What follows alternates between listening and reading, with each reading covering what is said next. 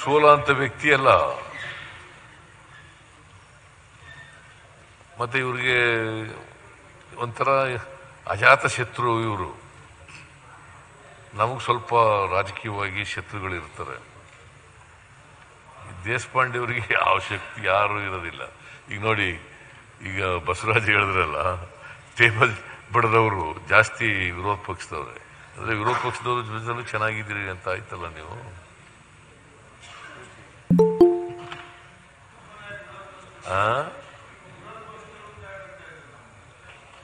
ಅಲ್ಲ, ನಿಮ್ಮ, sorry treasury bench so sir, sorry for the correction I mean thank you for the correction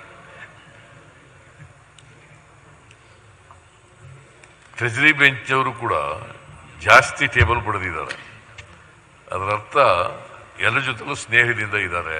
ಇವರು dragon fruit ಕೃಷಿ ಮಾಡಿ ಪ್ರತಿ ಎಕರೆಗೆ ಒಂದು ವರ್ಷಕ್ಕೆ ಹನ್ನೆರಡು ಲಕ್ಷ ಸಂಪಾದನೆ ಮಾಡ್ತಾರೆ. ನೀವು ಮಾಡಬೇಕಾ? ಫ್ರೀಡಮ್ ಅನ್ನ ಈಗಲೇ ಡೌನ್ಲೋಡ್ ಮಾಡಿ. ಮೊದಲಿನಿಂದ ಇದನ್ನ ಬೆಳೆಸ್ಕೊಂಡು ಬಂದಿದ್ದಾರೆ. ಎಲ್ಲ ರಾಜಕಾರಣಿಗಳ ಜೊತೆ ಸ್ನೇಹದಿಂದ ಇರ್ತಕ್ಕಂಥ ಒಂದು, ಆ ಸ್ವಭಾವವನ್ನು ಬೆಳೆಸ್ಕೊಂಡಿರ್ತಕ್ಕಂಥದ್ದು. ಈಗಾಗಲೇ ಮುಖ್ಯಮಂತ್ರಿಗಳು ಮಾತ್, ಮಾತಾಡದಂತೆ ಎಲ್ಲ ಚೀಫ್ ಮಿನಿಸ್ಟರ್ಗಳ ಜೊತೆಲೂ ಕೂಡ ಚೆನ್ನಾಗಿದ್ರು.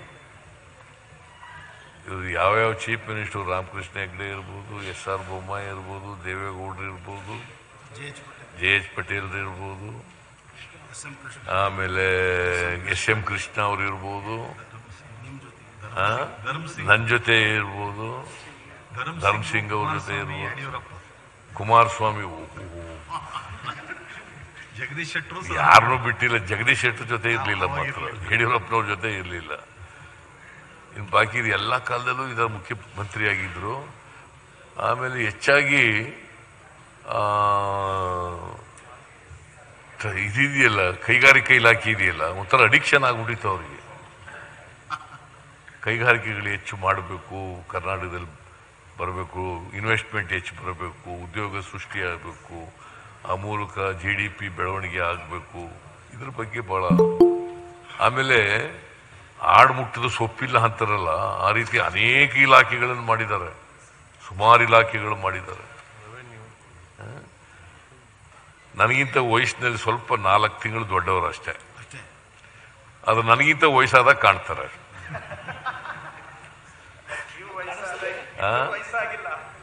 ನನಗೆ ವಯಸ್ಸಾಗಿಲ್ಲ. ಇವರು ಡ್ರ್ಯಾಗನ್ ಫ್ರೂಟ್ ಕೃಷಿ ಮಾಡಿ ಪ್ರತಿ ಎಕರೆಗೆ ಒಂದು ವರ್ಷಕ್ಕೆ ಹನ್ನೆರಡು ಲಕ್ಷ ಸಂಪಾದನೆ ಮಾಡ್ತಾರೆ. ನೀವು ಮಾಡಬೇಕಾ? ಫ್ರೀಡಮ್ ಆ್ಯಪನ್ನು ಈಗಲೇ ಡೌನ್ಲೋಡ್ ಮಾಡಿ.